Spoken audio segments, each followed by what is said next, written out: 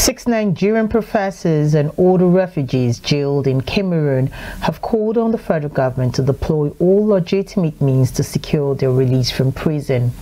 The asylum seekers appealed to lawmakers to urge the Nigerian government to urgently implement the UNHRC WGAD communication of October 14, 2022, which called for their release.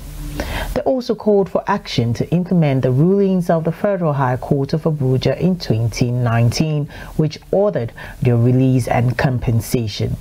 It would be recalled that the professors were deported from Nigeria to Cameroon on January 5, 2018, on allegations of plotting to destabilize the government of Cameroonian President Paul Biya Following their deportation, they were tried by a military tribunal and sentenced to life imprisonment at the Kondengui Maximum Security Detention Facility in Cameroon.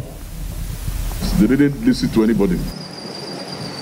So we are appealing to him, we are appealing to our parliament, elected by our people, by the will, the sovereign will of the Nigerian people, to intervene with the uh, Cameroon authorities to release these people so that maybe they can go into a, a, a, a, conversation to negotiate peace.